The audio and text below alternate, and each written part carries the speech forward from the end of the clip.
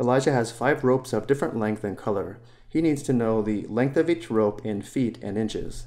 Complete the table below. In the first row, we have a red rope with a length of 4 feet.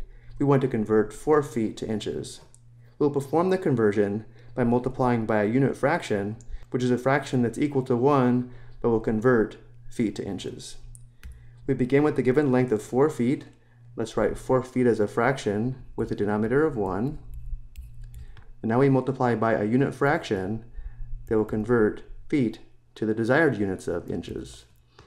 Because the conversion is 1 foot equals 12 inches, and we want feet to simplify out of this product, we write the units of feet in the denominator and inches in the numerator. Because the conversion is 1 foot equals 12 inches, the unit fraction is 12 inches over 1 foot.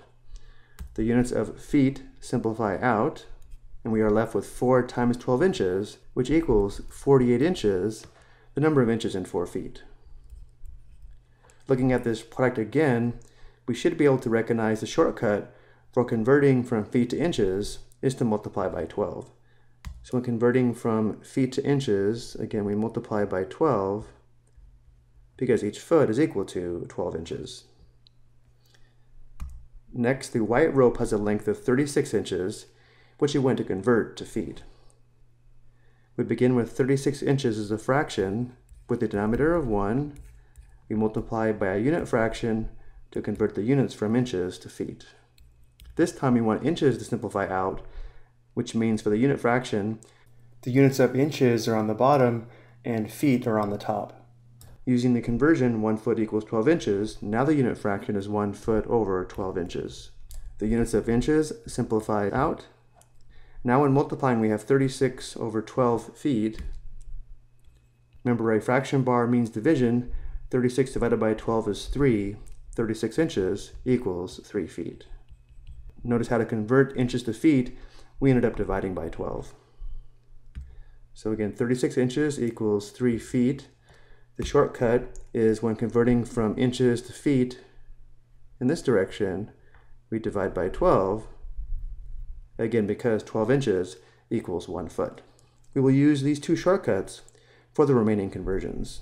In the next row, the blue rope has a length of 11 feet. We want to convert 11 feet to inches.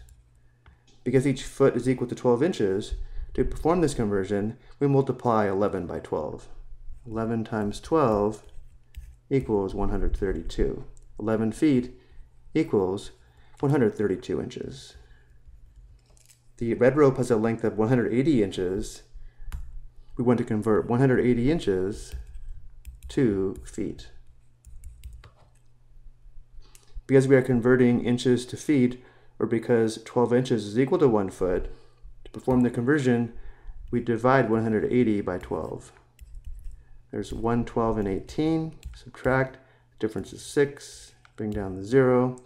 There are 5, 12s, and 60. 5 times 12 is 60, and the difference is 0, showing 180 inches equals 15 feet.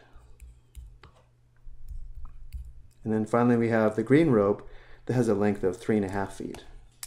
We want to convert 3.5 feet to inches. Because each foot is equal to 12 inches, we multiply 3.5 by 12 to convert 3.5 feet to inches. So we begin with 3.5 times 12. Let's write 3.5 as an improper fraction. The denominator remains 2. The numerator is 2 times 3 plus 1, which is 7. Let's write 12 as a fraction with the denominator of 1. Simplifying before multiplying, there's 1, 2, and 2, and 6 2s and 12, giving us 7 times 6, which is equal to 42. 3.5 feet equals 42 inches. For the next question, write an expression that can be used to convert feet to inches. Use the expression to convert 14 and 3 fourths feet to inches. Looking at the table above, we recognized to convert from feet to inches, we multiply by 12. So if we define the variable f to be equal to the given length in feet, we can write an expression to convert feet to inches. So let's let f equal the length in feet.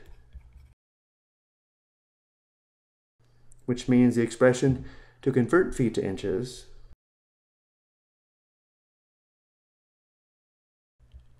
is f times 12, but f times 12 is normally written as 12f. These two expressions are equivalent, but 12f is much more common. So now if we're given that f equals 14 and 3 fourths, we substitute 14 and 3 fourths for f and evaluate the expression.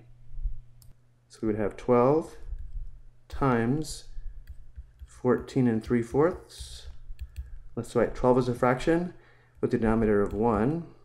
And now we'll also, and now we'll convert 14 and 3 fourths to an improper fraction. The denominator remains 4. The numerator is 14 times 4, which is 56, plus 3, which is 59.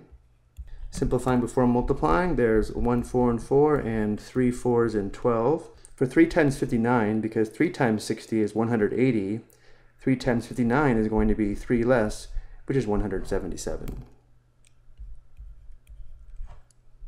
Which means 14 and 3 fourths feet equals 177 inches. I hope you found this helpful.